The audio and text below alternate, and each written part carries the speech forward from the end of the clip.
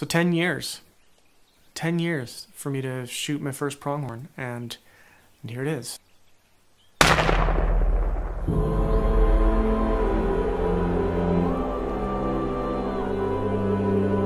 Pronghorn is possibly the most fascinating to me animals that exist in this province.